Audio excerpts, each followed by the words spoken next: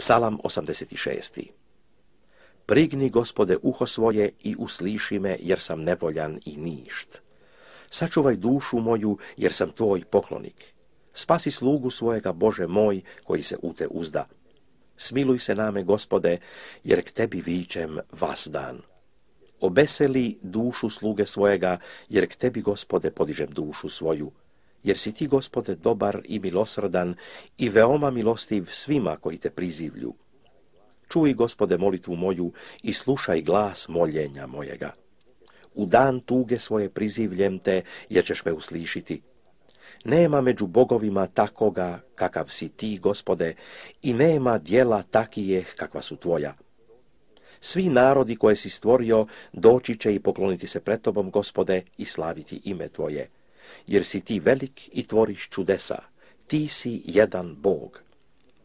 Pokaži mi, gospode, put svoj i ići ću u istini tvojoj. Učini, neka se mili srcu mojemu bojati se imena tvojega.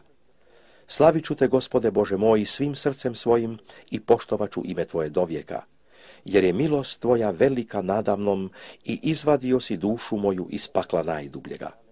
Bože, oholice ustaše na mene i gomila nasilnika traži dušu moju i nemaju tebe pred sobom. Ali ti, gospode, Bože milostivi i blagi, strpljivi i bogati dobrotom i istinom, pogledaj name i smiluj mi se. Daj silu svoju sluzi svojemu i pomozi sinu sluškinje svoje. Učini sa mnom čudo dobrote. Neka vide koji me nenavide i postide se što si mi, gospode, pomogao i utješio me.